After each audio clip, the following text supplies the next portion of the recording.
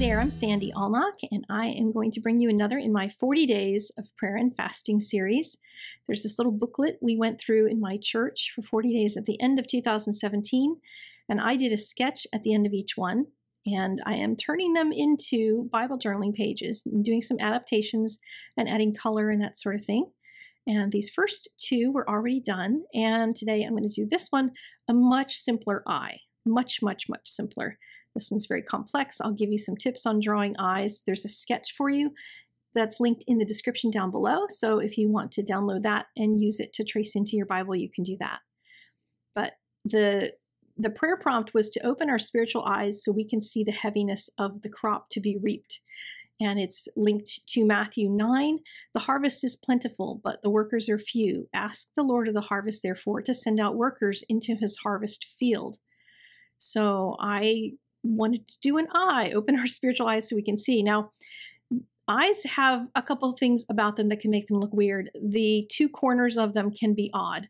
So on this one, one corner is hidden by the text and the other one falls off the page. And that's going to get rid of some of that potential awkwardness if you don't get the shape right. So that's one way to simplify something by hiding parts that you don't want to necessarily draw or things that are not going to be easy to draw. And I'm just going to paint in the iris, and you can paint it whatever color your eye is if you would want to. I have brown eyes, so that's what I'm going to do.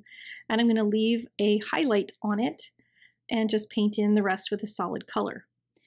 And with eyes, one of the things you want to know is that, that the whole pupil, the whole round part, is not actually round when you're drawing it in an eye. There's a lid above and a lid below that cover part of it.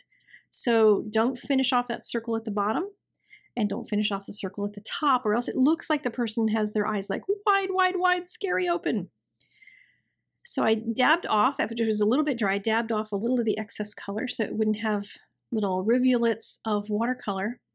And then I mixed up a little bit of a flesh tone color. Basically, I took that brown color, I added a little bit of yellow and a little bit of pink to it to try to create a color that was just going to be a very, very light skin tone shade so that it didn't look like the eyeball was just there with nothing around it. And then dabbing it off with a baby wipe to soften some of those edges. Put some paper over it and ironed it real quickly just for a few seconds to flatten that out a little bit.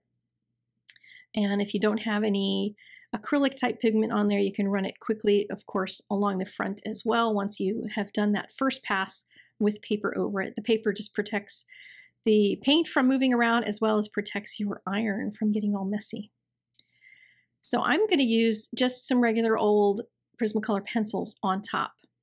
And I'm going to draw in some detail in the eye. Now I drew the the very center of the eye is very black, so I'm gonna I drew that in, and then I'm gonna give a little bit of an outline to some of the features of the eyeball.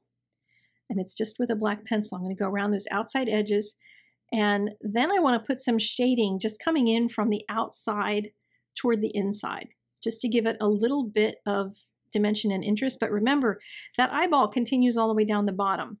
You're not going to continue necessarily putting that shading along that bottom lid because that bottom lid is going to have some some highlight coming into it.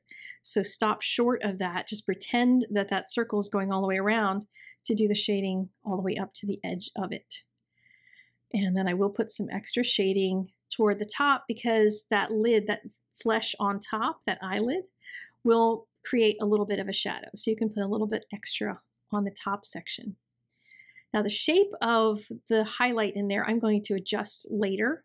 You can adjust it now, you can adjust it later. I'm going to leave it for now and wait and see what it looks like when I get all finished.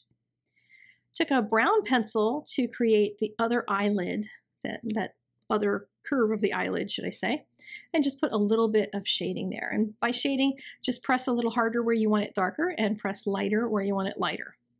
And then I'm going to let a little bit of it kind of go out into the text, but not very much, not very far, just to give this a little bit more of that, that fleshy feeling. And um, for some people, having an eyeball in your Bible could feel a little weird, so don't feel bad if you feel weird about it. I wanted to do the eyeball anyway um, because that's how I roll. I wanted to try to put this in my Bible.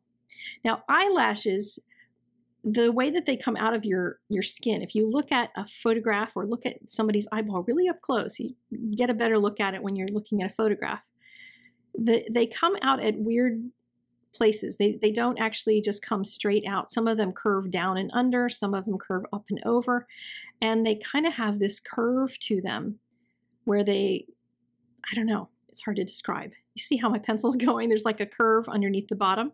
That's going to give it realism rather than just drawing straight lines straight out from it, which is what I had always done when I was young and drawing.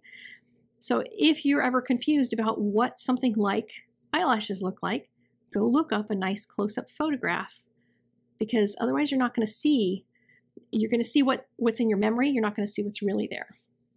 Now for the grasses, if you take each one of the lines and then on a few of them put some little fluffy stuff on the edge. Then you can make the rest of them just lines and you don't have to put fluffies on all of them. And it looks like a little bit of cattails on them and just spread those lines around. You could do it across the entire eyeball, but then it starts looking instead of like a reflection, it looks like it's supposed to be part of the way the eye is constructed. And since they don't go in the direction of the markings on an eye, that would be a little weird. So then we've got the grasses in there. I'm going to go in with my brown pencil now and just break up a few of the shapes on my highlight and just give it a little different shape. It was There was too much highlight there, so I decided to break it into a few pieces. And then I can darken the rest of the color in the eyeball and leave a little bit less color maybe in one section on the left to give myself a little more dimension. So I'm going to leave kind of a C-shaped highlight on that left with really soft edges which is different than the hard edges on that highlight at the top. And it'll give it some of that realism. Now the other thing I'm going to do after I get the video finished, of course, is to put some um, some text, some journaling down below the, the harvest is ready, am I? Because I've left myself space because I'm going to wonder later why I put an eyeball in here. So I'm going to put that prayer prompt in there about seeing with our spiritual eyes the heaviness of the crop to be harvested. So leave yourself that. If you're putting something in your Bible that you're like, I'm not sure I'm going to remember in five years why I drew this. All right, thanks so much for joining me. There's links to everything down in the doobly-doo down below, and I will see you again next time. God bless you.